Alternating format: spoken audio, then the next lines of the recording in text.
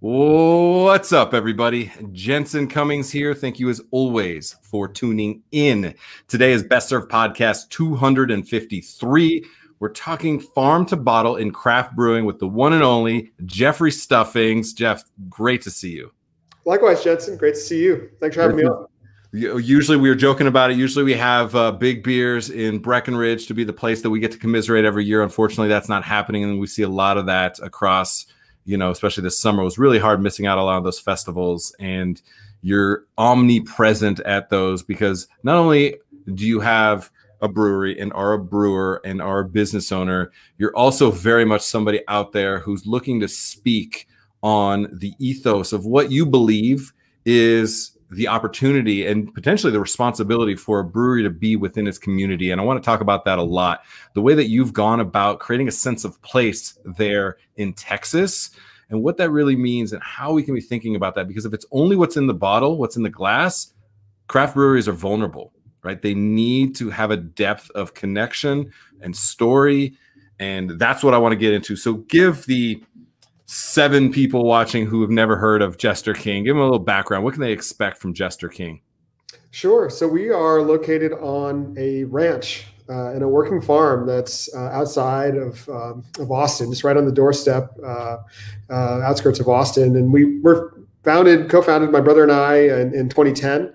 And um, as you mentioned, you know, we try to create a community out here, uh, both through agriculture, through brewing, through uh, cooking, uh, through events. Um, you know, craft beer when we started in 2010, there were about 1,500 breweries, and now there's over 8,000. So, wow. To, your point, yeah, you can't just make good beer and, and hope to get by. You have to combine it into an overall experience. You know, I think one of the positive things in in craft beer is that breweries have become more and more neighborhood centers, community hubs, places that that build you know cultural fabric. I mean i think beer what's best about beer ultimately is that it brings people together to experience you know humanity. You know i'm guilty as anybody of you know spending you know many hours a day like staring at a screen and and that's fine but there needs to be that balance with with community because uh, ultimately you know that's what what we are as, as humans. We're, we're social creatures. So um, we've tried to establish that. Um, you know, it starts with with making you know good beer, but again, like we said, that's just a prerequisite. Yeah. From there, I think for us, it's combining it with uh, really good food. We, we keep it simple. We specialize in you know wood fired pizza and uh, and and baked uh, baked goods. Um, and then from there, just try to have really just thoughtful thoughtful sourcing that supports you know our own local farm here at Jester King, as well as just uh, growers within about a you know 25 mile radius of the brewery. Um, and then also uh, we've tried to grow as much of our own uh, produce uh, for both you know, our own restaurant as well as uh, our beer making. Um, we have a, a nascent vineyard, a, a fruit orchard. Um, we have livestock. We have um, we raise goat, uh, which we're getting close it's not going to be this year, but um, you know, hopefully by 2021, we're starting to, you know, install um, the equipment necessary for commercial dairy. And so, um, wow, Jeff, that's amazing. I did not yeah, know about that. Yeah, uh, our farmer uh, uh, Pepe, Sean Pepe Myers. I mean, he uh, brought just like six mother goats to us like three years ago, and now we have about 30 goats in our, our herd. Uh, normally, like two birthing seasons. So. Um, yeah, but again, you know, going back to the roots of your question, we're just trying to create community that's thoughtfully tied to, as we like to say, time, place, and people, where you're taking the intersection of um, our location, the people who are here doing their work, and the season in which we create to make something that can only exist within the cross section of those three variables. Um, just trying to be a little bit of a bulwark against you know commoditized agriculture, which you know tries to make essentially everything one size fits all the same yeah. no matter where you go. And so trying to have like color and originality through uh, focusing on a sense of place.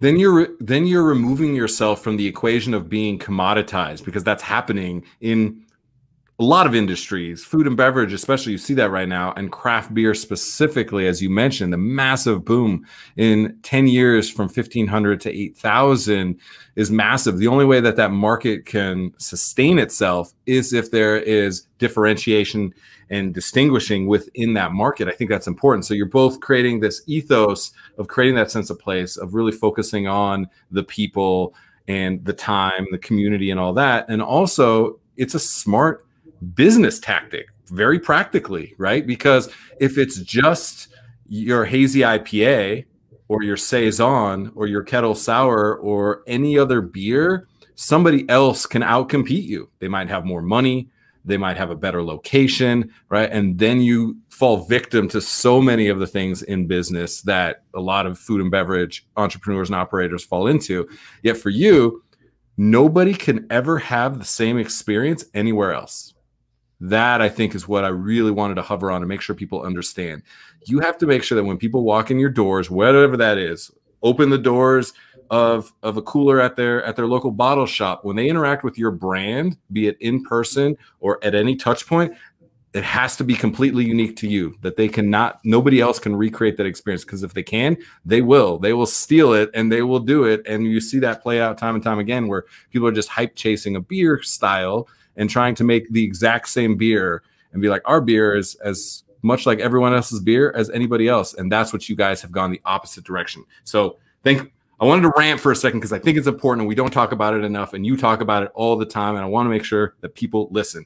Now, I want you to break down uh, the beers that you're actually making because you also take a very different approach to the beer itself. And we're going to throw some big, long terms up here. But I want to think about uh, mixed culture fermentation, spontaneous fermentation, and sour beer. These are very misunderstood in the market. Their value in the market is misunderstood as well. So I want to break that down. So where for you does that start? Spontaneous mixed culture for you? Where does where does that conversation start?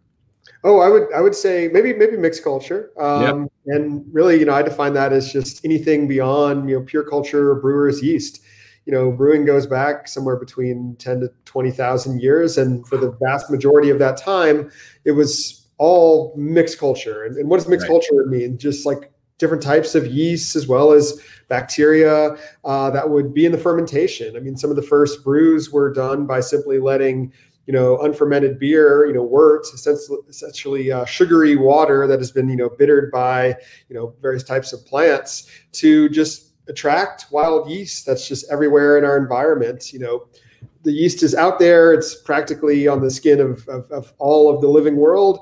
Yep. And it'll so find out sources of fermentable sugar and convert that sugar into CO2 and alcohol. Um, so for us, you know, we just try to be a brewery that focuses beyond the world of pure culture brewer's yeast. Not that there's anything wrong with that whatsoever. Sure you know, pure culture brewers yeast, uh, science is advanced. You can take a single yeast that's going to produce the same consistent, predictable flavors over and over again, and that has really given you know rise to not just craft beer, but just you know brewing on a global industrial scale where you can make beer through pure culture fermentation tastes practically the same every single time and that's that's wonderful um, but you know going back to my previous answer about wanting to have that sense of place, that uniqueness, that tied to time, place, people.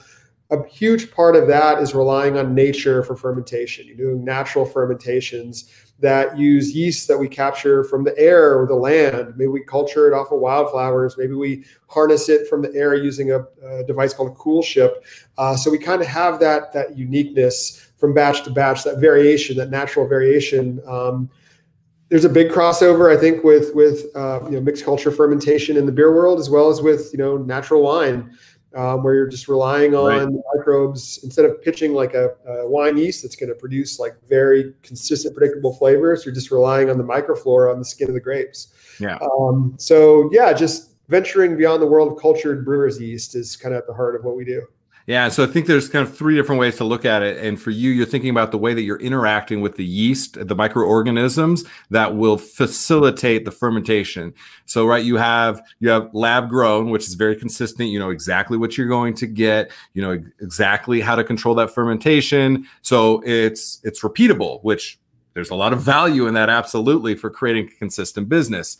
And so that is one methodology. Then you're talking about spontaneous fermentation where you're literally unaided. You are basically open fermenting. You have a coolship in your barn there that basically whatever naturally occurring microorganisms are going to find their way from the natural environment onto that beer. They are going to facilitate that fermentation and then also mixed culture or wild is a little different where you're not taking the lab grown, but you are harvesting and then you are inoculating with wild yeast. So you kind of three different methodologies there when it comes to the way that you're going to create the catalyst for fermentation. People need to be thinking about that because each of those has a different process and expectation, a different outcome, a different value as well, because the time and effort that it takes to create what you're creating is significantly more and higher. And so I want to go into sour beer. Jeff, what the hell is sour beer? I, I, mean, most simply, I would say, you know, any beer with kind of perceivable acidity. And, you know, you can go about creating that acidity in, in multiple ways. And, you know, kind of queuing off of what you mentioned with time, there's, you know, a very quick way, and then there's a more long term pronounced way. Um, you know, the quick way would be just, you know, for instance, you know, pitching, you know, lactic acid bacteria like like lactobacillus into right. uh, unpitched uh, wort, letting it ferment for you know 48 hours to kind of create uh, lactic acid, and then um, killing off that bacteria, and then pitching a brewer's yeast uh, to ferment out that that beer. So you have you know a nice soft, if it goes well, a nice soft acidity. Um, what we do is, is is is, very different than that. And, and again, you know, that's my whole thing is transparency. I, there's no right or wrong. There's just transparency when it comes to beer making. Uh, it's also subjective. So you know that kind of quick souring approach is is is, is fine. Um, it's not what we're passionate about. It's not what we do at Jester King. You know, we allow um, microbes that we harvest from the land and the air around the brewery to slowly ferment out sugars in the wort over long periods of time where the interactions of the different yeasts and bacteria coupled with time have the potential to create just new and interesting flavors that we could not really come up with uh, intentionally. It's, it's really like seeding control. Like we are just along for the ride, and the yeast and bacteria create flavors that, like I mentioned, otherwise we couldn't have, you know, kind of put together on our own, which which I think is where some of the magic lies, and ultimately some of the just fascinating experiences with beer can can rise from. Um, you know, anything from like just you know crazy you know, tropical fruit flavors to weird like funky barnyardy flavors. Oh to, yeah, yeah. Um, and then when it comes to to sour, um, because there is bacteria in the fermentation, we do see you know acidity. Um, although one thing I would you know point out with us is we're not after acidity just for the sake of acidity. I mean, yeah, you know, just something that's gonna like clench your face up just for the sake of being sour. Yeah, that's that's that's right. kind of one dimensional, and I don't think very fun. I mean, you know, you know, you're you're a chef, so I mean, you know, when you create dishes, you know, maybe you're looking for like an acid component that is complementary to a more complex whole. Right. And so I think that that analogy works for for brewing and and, and uh, blending because we'll take beer that's been matured in oak barrels for anywhere from one to three years, and then blend those together to create something that's cohesive where it's not just like puckeringly sour, like, mm. uh, okay, I tasted that, but I'm good now. Uh, you know, ultimately, you know, whether you're making barley wine or mild or sour beer, whatever it may be, I think the beer has to be drinkable, meaning that you have one glass and you're like, oh, I'd be glad to have another. Um, right. So that's why I never really refer to our beer as, you know, sour beer. Not not that it like offends me or anything, but that's just not quite true to what we're after. Yeah, it, there's a couple things to unpack there that I think are interesting.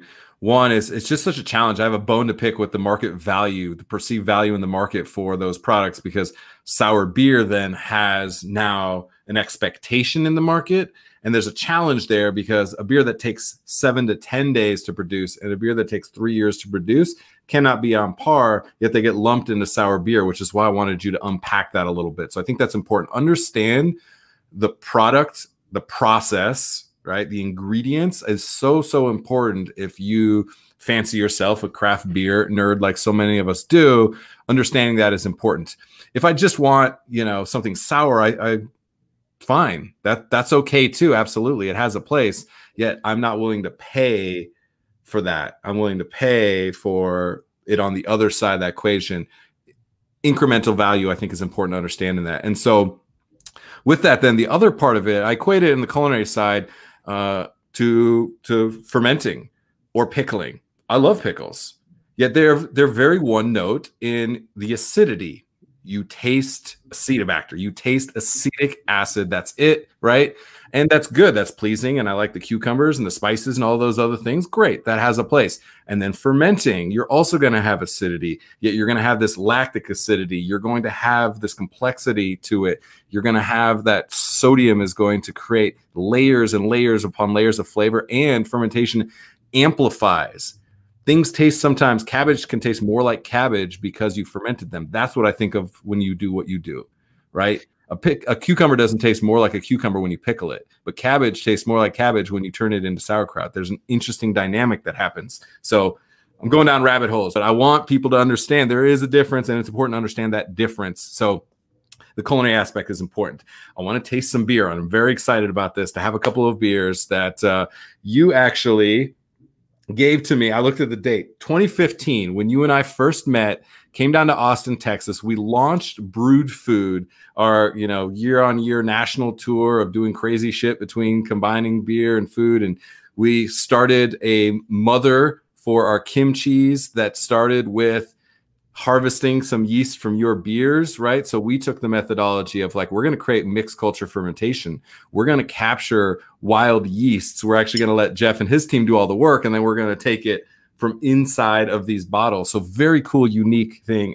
And I've been sitting on these in the cellar, buddy. I'm excited to crack these open. So tell people what I'll be drinking. The beer de Blanc du Bois, which is beautiful. Yeah, this is um, uh, a barrel aged uh, wild beer, just native yeast and bacteria, that, like we talked about from our ranch here at Jester King.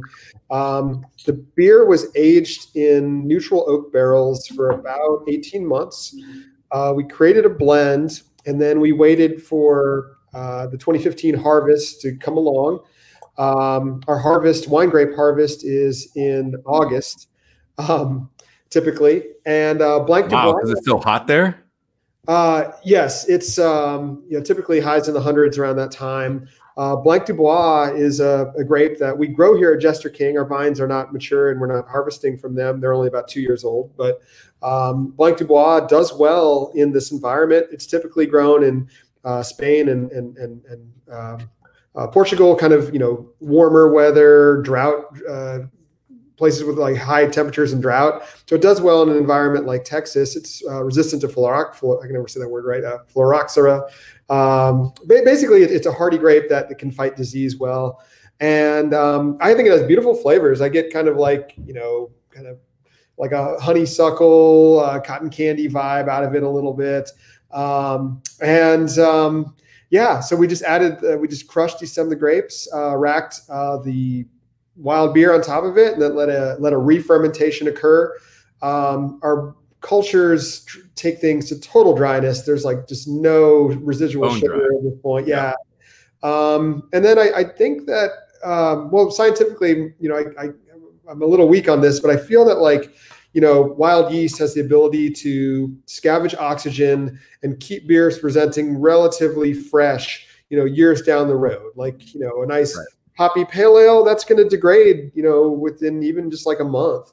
Um, whereas like a wild beer like this, that's more that has natural acidity and you know wild yeast, um, it's going to stand up to time pretty well. You know, again, drawing an analogy to the wine world um, you know, this beer is very much kind of a hybrid of beer and wine. And um, you know, I haven't opened a, a, 2015 version of that anytime recently, but um, yeah, how's how's it holding up? I was about to say, let me tell you about it, Jeff. Let me tell you, honeysuckle. Literally, the first thing on the nose is absolutely that kind of wildflower honeysuckle, a little bit of green grass in there, which I think is is super pleasing.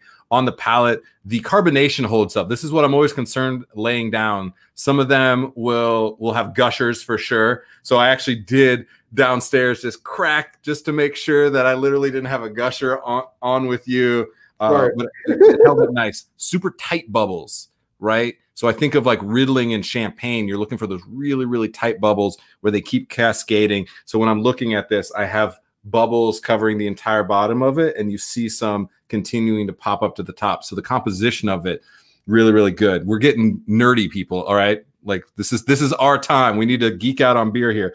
The other thing is bone bone dry like it pulls at your tongue a little bit it's so dry which i think is really really good uh, if there was residual sweetness i think it'd get a little cloying and then it would start to taste too much like honey and then i think it goes in a completely different direction there's also just enough acidity right? And i think what i like about a beer like this and beers with that perceivable acid that titratable acid i think is important because it makes it great with food.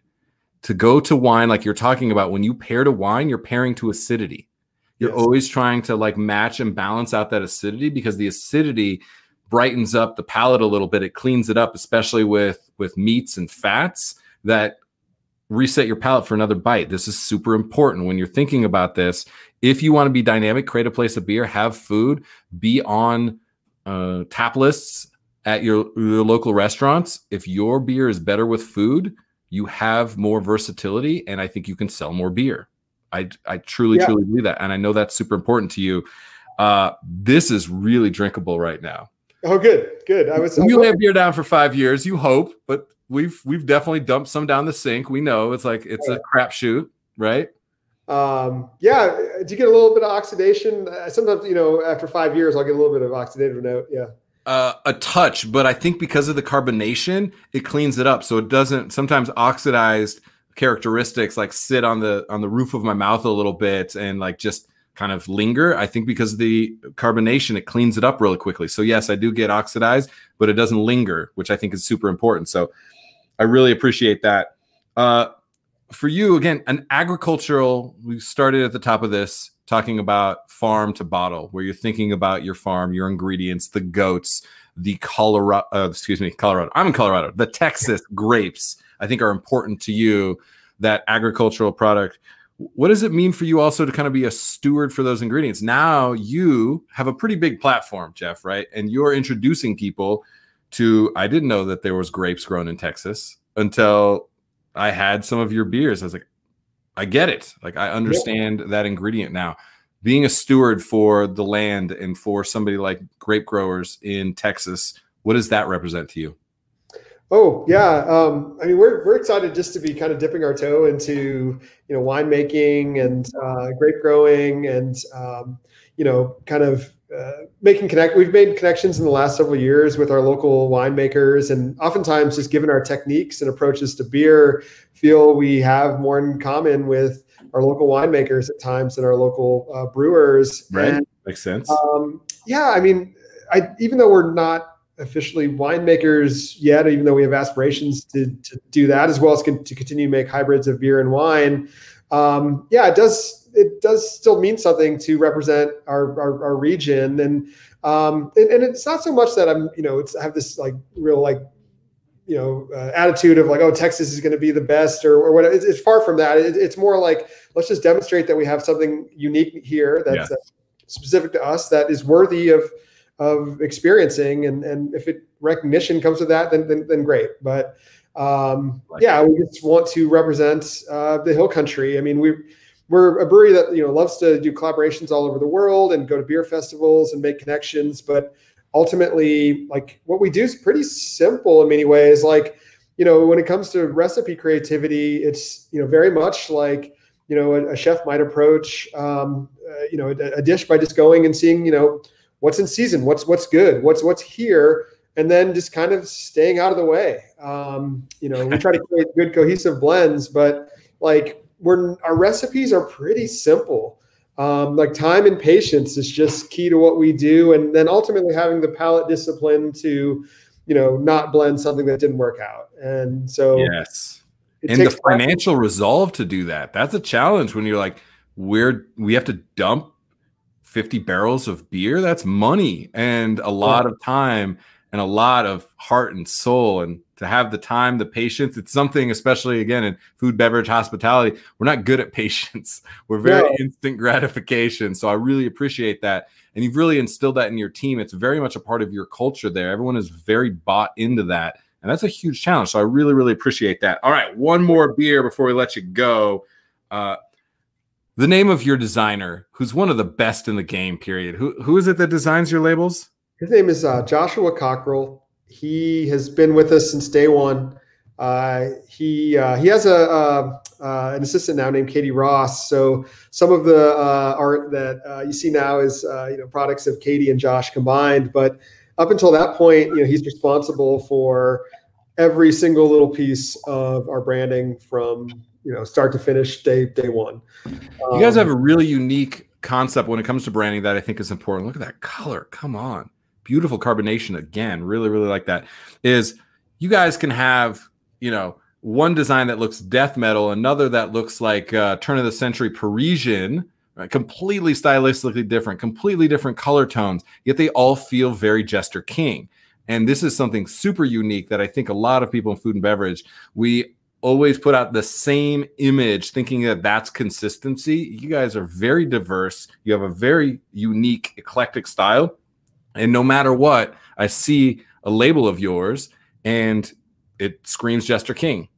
Even if it's all black death metal or one has like pink poppies on it like they look this they they look like jester king. So i really appreciate that. And, and this design is another one. But tell people what i'm drinking here because this is a beauty. Yes yeah, so this this beer is um, another wine influenced beer. Um, it's called Detritivore um, essentially we take the the spent fruit from one beer and use it to make another. So, uh, if you know if any you know winemakers or aficionados are, are listening, you may have heard of like Piquette, which yep. is you know you take uh, the grapes from you know, from pressing throughout the, the the, the harvest season and just steep them, steep some water on top of them, where you're extracting some of the residual flavor from the grapes after they've already been pressed. Um, in this case, uh, well, not grapes. Uh, we took cherries from a beer that we make, um, a wild beer that we re-ferment with uh, Montmorency and Balaton cherries, and then we take just a really, really simple, not water, but a really just simple, basic wort, you know, unfermented beer. Rack that, transfer that on top of the cherries, and just let them steep. So just kind of you're picking up whatever residual flavor and aroma is left from the cherries after they've already been uh, fermented one time so essentially taking the, you know, the what's left over from one beer to, to make another, which, um, you know, again, is a technique that winemakers have been doing for forever. Yeah. Um, you know, Brasserie Cantillon in Brussels, Belgium, you know, uh, in talking to them, like, you know, throughout the decades, um, you know, they would, especially when times were tough in like the 70s and the 80s when lambic almost became extinct, you know, just right. to stretch their dollars, they would, you know use fruit multiple times and that was part of our inspiration as well. So more of kind of like a subtle character. It's not going to be like big bold jammy in your face and you can just tell by the, the, the color there and it's kind of that light pink not that kind of like deep uh, ruby red um, you know from the cherries. And um, we also use a little bit of uh, aged hops in that that beer, which I think you know, in the connection to lambic a little bit more, where yep. you get some of that kind of kind of earthy, funky, barnyardy character. Um, so yeah, kind of equal equal parts lambic inspired and equal parts uh, Piquette inspired. Both these 2015s have have held up. A little more oxidation uh, on this guy. And I think from uh, from fruit, you'll uh, fruit like a cherry, I'd expect that even a little bit more than than grape. Just the dynamic of that and the the brix of that on the onset. But what I really like is is a couple things that you just mentioned that I think are important. necessity is the mother of all invention, right? You create a whole new style of being able to re-ferment used spent fruit because you had to stretch that dollar you had to make another beer that creates this very uniquely elegant style because sometimes those highly extracted jammy stuff i love them for five six seven sips. I don't want another one because they're intense right? They're very very intense. They a lot of palate fatigue. This is very quaffable very drinkable. There's there's this level of minerality on it. And then I get a little that cheesiness, which I really like. It makes it very umami. And you've sent me giant trash bags of your guys's two, three, four year old hops, and they're funky and dirty and grimy and cheesy. And I really like the depth because sometimes if it tastes like Welch's fruit juice, I'm not into it. I want seeds and stems and you know the moldy ones that hit the ground from the orchard. Like that sense of of place is something that you've done really well. I think of uh, this one's a good representation. What's the strawberry beer that you have that 25% of the strawberries leave the tops on? Oh yeah, it's called uh, Omniscience and Proselytism. That if I could only pronounce all the names of your beers, that is just the essence of it. Leaving the stems on the strawberries, right? Creating that level of character, I think is something super, super important. These are great. I'm really, I'm really excited about that. I actually told my neighbors, I was like, "Hey, you're going to be getting some Jester King beer because I'm going to pour you guys some some midday beers. So just be ready." I really appreciate these. Any last thoughts for us as we have a highly professional brewer and restaurant people, kind of people that get this, but it's time for us to kind of move beyond what's in the glass. And I think you've spoken that. Any last thoughts you can take us out? Great episode. Great talk, Jeff. Appreciate oh, it. Thank you, Jensen. Um, yeah, I, I, think just, um, you know, in, in, in, these times, I'll kind of loop back around to the, you know, one of the beginning topics we talked about is, um, you know, just in terms of, uh, of, of, creating community, we've also, I think, one thing that craft brewers have been forced to do, and I say I, I, forced makes it sound like it's a negative, far from it, is that you know we've actually now started to pay attention to like service and hospitality like we never have before, where you know it needs to be a great experience, but then it has to be accompanied by you know skilled you know hospitality professionals who know how to uh, you know pr- provide education as well as an exceptional experience to folks and um, you know, we were, I think we were chatting online a few months ago about, you know, some of our influences. And we're talking about like, you know, some of the Danny Meyer stuff and, mm. and um, yeah, just like, that's just another piece of the, of the puzzle. So I feel it's like brewers, I think maybe a theme for our discussion today is like, we as brewers are simultaneously pulled these days towards chefs and restaurateurs as well as winemakers. So, uh, in part of being more total more total in our experience like we feel like we're adopting new hats. And and i think that's great. I think ultimately that's great for people's experience and great for for culture in general. I could not agree more. I think now in in troubled times we see gathering around the table around a plate around a glass around a bottle it, it really matters matters fundamentally. And so taking on that opportunity and responsibility as a brewer elevates the position that you have in that community and thereby your opportunity and again responsibility to deliver on what that means to be at the epicenter of any given community. I think it's super important. So jeff i really appreciate this. And this is funny i thought this when we first got on to our buddy jeff. Hey jeffrey you freezing down there or what? I know it's not even uh, you know halloween yet and it's like 36 degrees out here uh, which uh, I'm not used to. So uh, we're supposed to be back in the 70s by the weekend, thankfully. Right. Uh, Jeff, of course, brewer owner, very talented in, in mixed culture as well at Adam in uh, in Colorado. And uh, yeah, we got snow on the ground right now here. So Jeff, Jeffrey Stuffings, everybody, so greatly appreciate the conversation. Appreciate the guidance and leadership you've always shown and and uh, and mentorship. I've learned so much about beer, so much about food, so much about myself myself as a as a chef in diving in and interacting with you. And I think that level of relationship is what this is all about. So I really appreciate it.